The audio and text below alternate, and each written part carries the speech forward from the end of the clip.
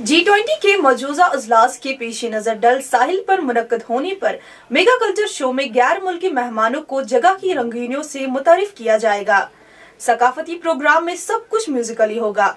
इसके लिए हाईटेक वसाइल इस्तेमाल किए जाएँगे। हाईटेक लाइटिंग का इंतज़ाम किया गया है। जराये के मुताबिक फनकारों के लिबास जेवर से लेकर हर चीज़ इस किस्म की होगी कि किसी को कोई दुश्वारी नज़र नहीं आएगी। इसके लिए मुख्तलिफ़ टीमें मसरूफ अमल है। रहल सहल का प्रोग्राम भी जारी है।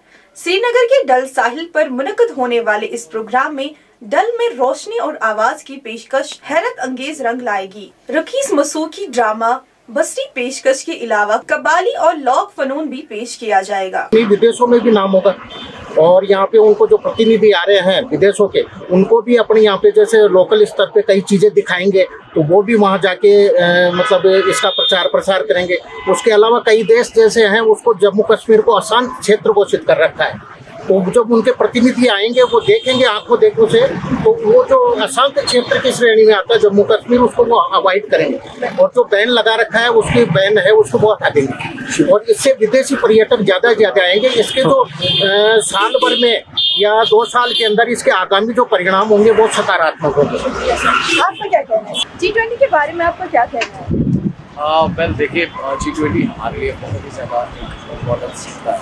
टूरिज़्म के हवाले से, बल्कि हमारे बिज़नेस के हवाले से डेवलपमेंट के हवाले से प्रोग्रेस के हवाले से यहाँ पे जो हमारी अनएम्प्लॉयमेंट है, उसके हवाले से। सो बहुत सारे पर्सपेक्टिव्स हैं जी ट्वेंटी समिट में, और ख़ासकर जो हमारे यहाँ कश्मीर में जो मीटिंग हो रही है, क्योंकि तो बहुत सारे प्रोग्राम्स के हवाले से बात की जाएगी, कई सारे इनिशिएटिव्स के हवाले से बात की जाएगी, जिसमें हम मोस्ट इम्पोर्टेंटली देख रहे हैं कि हमारे जम्मू कश्मीर में और खासकर कश्मीर में सबसे बड़ी प्रॉब्लम है, वो है अनएम्प्लॉयमेंट को लेकर। और हमारे पास यहाँ पे उतने बिज़नेस के हवाले से वसाइल नहीं है।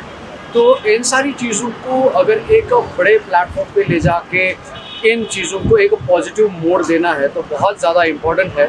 इस तरह की मीटिंग्स या इस तरह के समिट्स जो है, यहाँ जम्मू कश्मीर में होने चाहिए। तो अभी अगर हम प्रेजेंटली मीटिंग की बात करें तो कई सारे ऐसे इनिशिएटिव्स को लेकर प्रोग्राम रखे गए हैं, जिनमें इन सारी चीज़ों को लेकर जो है बात की जाएगी। और होपफुली अगर ये मीटिंग जो है एक पीसफुल और डेवलपिंग मैनर में कंक्लूड होती है डेफिनेटली जो यहाँ की एक्सपेक्टेशंस है आम इंसान की या जो यहाँ के नौजवान हैं उनकी जो एक्सपेक्टेशन है होपफुली उनका भी कहीं ना कहीं कोई समाधान तो ज़रूर डेफिनेटली निकलेगा। सबसे पहले मैं आपके चैनल का तह दिल से शुक्रिया अदा करता हूँ। और उसके बाद मैं ये पैगाम देना चाहता हूँ कि ये वो पहला वज़ी अज़म है हमारे मुल्क के हिंदुस्तान का कि जिन्होंने जी ट्वेंटी हमारे जे के अंदर लागू की और जी ट्वेंटी का जो मुद्दा व मुद्दा व मकसद है, वो ये है कि हमारे इलाके के डेवलपमेंट, तमीर व तरक्की और यहाँ पर बड़ी बड़ी इंडस्ट्रियाँ खुलेंगी। यहाँ पर जितने भी हमारे बेरोज़गार नौजवान हैं, उनको रोज़गार मिलेगा। और मैं आपके चैनल की वसादत से तमाम जम्मू कश्मीर की आवाम से गुजारिश करना चाहता हूँ कि वो जी ट्वेंटी का भरपूर तावन करें, उनके साथ मिलकर रहें। क्यों?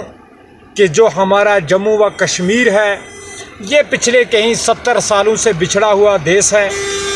ये मुल्क बहुत बिछड़ा हुआ है और ये वाद हमारे नरेंद्र भाई मोदी साहब का मिशन है कि हमारा जम्मू व कश्मीर आगे बढ़े।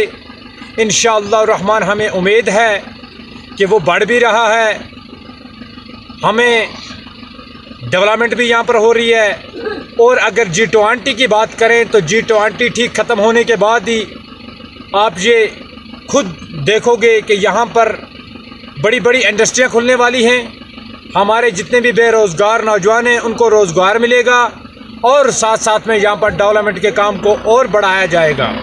और तमाम लोगों से गुजारिश है कि जी ट्वेंटी का भरपूर तावन करें और सपोर्ट करें। शुक्रिया।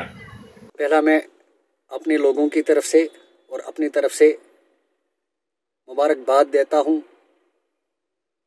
प्राइम मिनिस्टर नरेंद्र मोदी जी को, जिसने हमारे जम्मू कश्मीर में जी ट्वेंटी को लाया है। मैं अपने लोगों से ये कहना चाहता हूँ, अपनी जम्मू कश्मीर की यूथ को ये कहना चाहता हूँ कि जो जी ट्वेंटी जो हमारी जम्मू कश्मीर में आया है, इससे यहाँ की बेरोज़गारी ख़त्म हो जाएगी और हमारी कश्मीर जो जम्मू कश्मीर है तामीर और तरक्की की तरफ़ जाएगा और हर एक हक वाले को हक मिलेगा। क्योंकि पिछले सत्तर सालों में किसी भी प्राइम मिनिस्टर ने या किसी भी सरकार ने या किसी भी हुकूमत ने ये जी ट्वेंटी को हमारी जम्मू कश्मीर में नहीं लाया है। ये वाहिद, यही प्राइम मिनिस्टर नरेंद्र मोदी जी है, जिसके हम जम्मू कश्मीर के लोग शुक्रगुजार हैं कि इसने जी ट्वेंटी को हमारे जम्मू कश्मीर में लाया है। जिस जी जिस जी ट्वेंटी से हमारे बेरोज़गारों को रोज़गार मिलेगा, जिस जी जिस जी ट्वेंटी से हमारे जो कश्मीर, जम्मू कश्मीर है, खासकर कश्मीर जो है तामीर की तरक्की की तरफ़ फिर वापस जाएगा, और हम फिर बार बार मुबारकबाद देना चाहता हूँ नरेंद्र मोदी जी को कि उसने हमारी जम्मू कश्मीर में जी ट्वेंटी लाया है, कि हम चाहते हैं कि बार बार ये जी ट्वेंटी आते रहे हमारे जम्मू कश्मीर में। हम इस्तकबाल कर रहे हैं, इनको हम मुबारकबाद देते हैं जो जी ट्वेंटी को, जो हमारे जम्मू कश्मीर में आ रहे हैं। हम इनको वेलकम कर रहे हैं, हम इनको, इनका शुक्रगुजार है। हम चाहते हैं कि वो आ जाए यहाँ पर ताकि हमारे जो कश्मीर में बेरोज़गारी ख़त्म हो जाएगी और यहाँ जो हमारी कश्मीर जो है तामीर और तरक्की की तरफ़ जाएगा। इसके लिए हम शुक्रगुजार हैं नरेंद्र मोदी जी का कि उसने हमें इस काबिल समझा है कि हमारे जम्मू कश्मीर में इसने जी ट्वेंटी को भेजा है कि जिस ट्वेंटी जी जी ट्वेंटी की वजह से हमारी जो जो कश्मीर की जो हमारे बेरोज़गार जो नौजवान हैं, उनको रोज़गार मिलेगा और हमारे जम्मू कश्मीर जो है तामीर और तरक्की की तरफ़ जाएगा। और सबसे बड़ी बात यह है कि हमारा जो कश्मीर जो है, जन्नत का एक नज़ारा है कि हमारी जो कश्मीर फिर वही जन्नत बनेगा जो जन्नत ये था।